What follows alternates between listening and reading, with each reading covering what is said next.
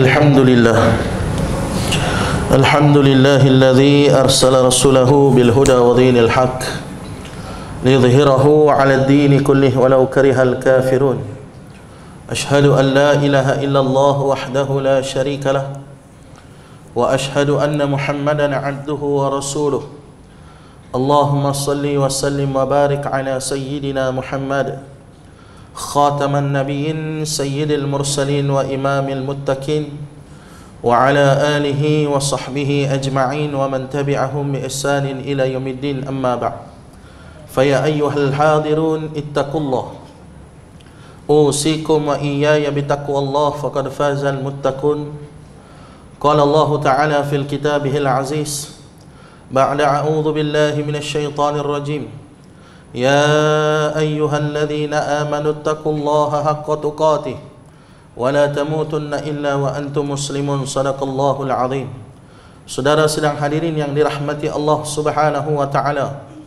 Marilah sama-sama kita meningkatkan keimanan dan ketakwaan kepada Allah Subhanahu wa taala. Dengan kita menjunjung tinggi segala titah perintah Allah dan kita meninggalkan apa yang dilarang oleh Allah Subhanahu wa taala. Mudah-mudahan kita tergolong dalam golongan manusia-manusia yang berjaya di dunia dan di akhirat.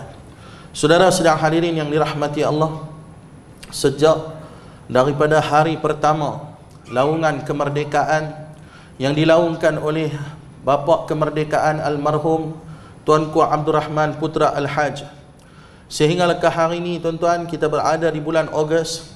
Yang tak berapa hari lagi kita akan menyambut hari kemerdekaan maka negara kita telah lebih daripada 60 tahun merdeka. Tetapi tuan-tuan yang dirahmati Allah Subhanahu wa taala pengertian kemerdekaan pada hakikatnya bukan sekadar kita bebas daripada penjajahan Portugis. Kemerdekaan yang sebenarnya bukan hanya sekadar kita terlepas daripada belenggu British. Penjajahan kemerdekaan yang sebenarnya bukanlah bermaksud kita tidak lagi dicengkam oleh mana-mana negara luar tetapi hakikat kemerdekaan yang sebenarnya adalah apabila diberi kenikmatan kepada kita dengan kebebasan untuk kita hidup di dalam kehidupan kita sendiri. Kita dilepaskan kita dibebaskan. Kita tidak pernah mengalami seperti mana nenek moyang kita yang mengalami begitu banyak keperitan-keperitan ketika mana hidup di bawah pemerintahan penjajah. Tetapi alhamdulillah kita dibesarkan dengan kebebasan, kita dibesarkan dengan kemerdekaan sehingga kadang-kadang kita terlupa bahawasanya dalam diam-diam, dalam sembunyi-sembunyi masih ada lagi penjajah-penjajah lain yang sedang menjajah kehidupan-kehidupan kita. Ya benar, kita tidak lagi dijajah oleh Amerika. Kita tidak lagi dijajah oleh British. Kita tidak lagi dijajah oleh mana-mana negara-negara kuasa-kuasa besar. Tetapi kadang-kadang pemikiran kita terjajah dengan pemikiran yang merosakkan keimanan kita. Kadang-kadang kehidupan kita lebih banyak mencontohi apa yang tidak patut kita contohi dan kita meninggalkan apa yang sepatutnya kita contohi di dalam kehidupan kita. Sebab tu tuan-tuan yang dirahmati Allah Subhanahu wa taala, kita perlu sedar bahawasanya kita masih lagi mempunyai musuh yang akan menjajah kehidupan kita. Maka musuh yang paling utama yang akan menjajah kehidupan kita itu adalah syaitan laknatullah. Syaitan yang mana bermula sejak daripada peristiwa Nabi Allah Adam AS. Dia tak puas hati dengan manusia. Dia tak puas hati kepada manusia. Dia tak puas hati kepada kita yang akan diletakkan sebagai khalifah di atas muka bumi Allah Subhanahu wa taala.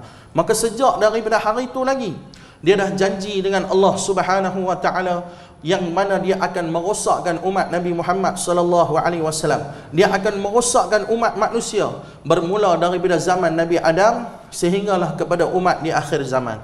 Sebab tu tuan-tuan yang dirahmati Allah, musuh yang pertama yang kita kena sedar Musuh pertama yang kita kena faham, inna syaitana innahum laku aduwwum mubin. Sesungguhnya syaitan itu adalah musuh kamu yang paling nyata. Musuh kamu yang akan merosakkan kehidupan kamu. Musuh kamu yang akan menjajah kamu. Itulah musuh kita yang pertama. Musuh yang kedua tuan-tuan, yang kita kena sedar yang akan merosakkan kehidupan kita adalah nafsu kita sendiri. Bahkan kalau dibandingkan di antara syaitan, musuh yang pertama, dengan nafsu sendiri musuh yang kedua maka kata dengan ulama bahkan nafsu itu adalah lebih bahaya dan lebih buruk daripada syaitan itu sendiri.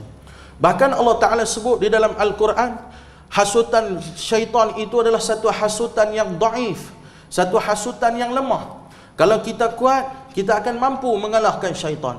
Tetapi tuan-tuan yang dirahmati Allah, kita tengok berapa ramai manusia yang telah rosak di atas kehidupan muka bumi ini kerana mereka telah dirosakkan oleh nafsu mereka sendiri. Kita buka dalam sejarah kehidupan Fir'aun. Hanya semata-mata kerana mempunyai nafsu yang gila kuasa. Bahkan dia sanggup untuk bergaduh bukan sekadar dengan hanya manusia. Tetapi dia sanggup bergaduh bahkan dengan Allah Ta'ala. Apabila Nabi Musa berdakwah kepada dia. Bahawasanya aku ada Allah yang maha tinggi. Maka dengan sombongnya Fir'aun pun menjawab. Ana rabbukumul a'la akulah Tuhan yang maha tinggi. Itulah nafsu yang ada kepada Fir'aun. Nafsu yang ada kepada Korun. Dengan bangga dengan kekayaan harta yang ada pada dia. Dia dijajah oleh nafsu dia. Dia tidak merdeka dengan nafsu dia. Maka akhirnya Korun dirosakkan dengan harta dia. Haman dirosakkan dengan pemikiran yang, yang cerdik pandai. Tetapi kerana nafsu telah memenuhi jiwa mereka. Maka mereka telah dirosakkan oleh nafsu mereka sendiri. Maka sebab itulah tuan-tuan yang dirahmati Allah. Perlulah kita mengenali akan nafsu kita. Allah Ta'ala meletakkan nafsu kepada kita itu sebagai perhiasan. Zuyyina linnasi hubbu syahwat. Dalam ayat yang panjang Allah Ta'ala sebut dihiaskan ke atas manusia itu dengan hawa nafsu minan nisa wal banin sehingga ke akhir hayat ke akhir ayat yang disebut dengan macam-macam perincian manusia dia cinta kepada perempuan dia cinta kepada anak-anak dia cinta kepada kuda dia cinta kepada emas dan perak. Itulah nafsu yang dihiaskan oleh Allah Taala kepada kita. Nafsu adalah perhiasan. Kalau kita pandai guna maka nafsu itulah yang akan memberi manfaat kepada kita. Nafsu itu sebagai perhiasan. Perhiasan itu sekiranya diletakkan pada tempat yang kena maka ia akan memberi nikmat kepada kita tetapi andai kata nafsu itu digunakan melampaui batas, melebihi batas, maka akhirnya kita akan terjajah dengan kehidupan kita sendiri. Kita tengok berapa ramai ada orang yang terjajah oleh nafsu mereka. Ketika mana mereka berusaha di atas dunia, mereka nak jadi kaya, mereka usaha jadi kaya, Kemudian dengan nafsu mereka, mereka nak hidup dengan luar biasa. Orang yang pakai Mercedes, dia nak pakai Range Rover. Orang yang pakai baju biasa, dia nak pakai baju mahal. Akhirnya dia terperangkap dalam nafsu dia. Disebabkan dia tidak mampu lagi untuk usaha. Nak maintain life dia. Maka akhirnya dia terlibat dengan hutang-hutang yang banyak. Maka nafsu dia sendiri menjatuhkan dia dalam kehidupan dia. Maka sebab itulah tuan-tuan. Dengan erti kemerdekaan yang sebenarnya adalah dengan kita memegang agama Allah subhanahu wa ta'ala. Arti kemerdekaan yang sebenarnya kita harus keluar daripada kejahilan. Musuh yang paling utama dalam kehidupan kita adalah kejahilan. Apabila kita tidak ada ilmu, maka kita akan buat segala-galanya mengikut hawa nafsu kita. Kejahilanlah yang akan merosakkan kita. Satu perkara yang baik yang ingin kita laksanakan.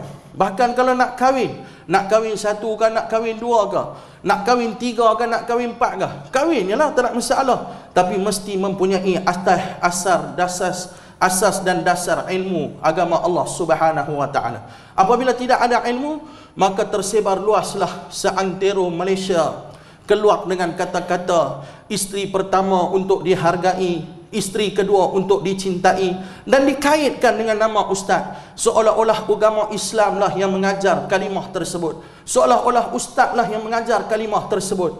Sekiranya direnungi dalam dengan mendalam kata-kata itu menunjukkan ketidakadilan di dalam Islam.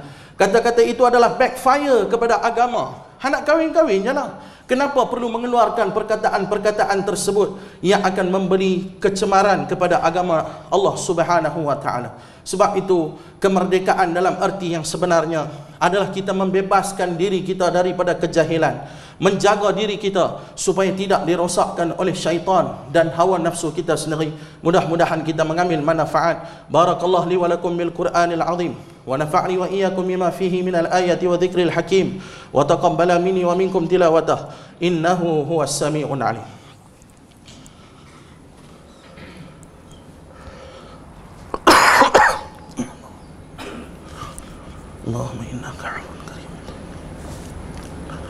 إنك أنت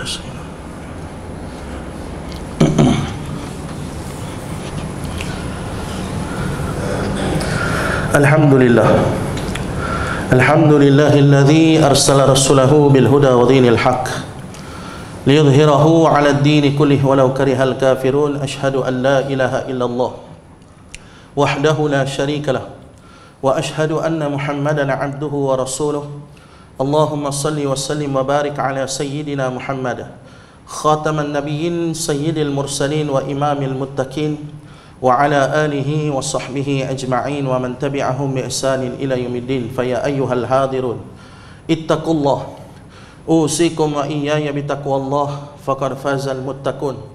قال الله تعالى في كتابه العزيز بعد أعوذ بالله من الشيطان الرجيم إن الله وملائكته يصلون على النبي يا أيها الذين آمنوا صلوا عليه صلوا عليه وسلموا تسليما.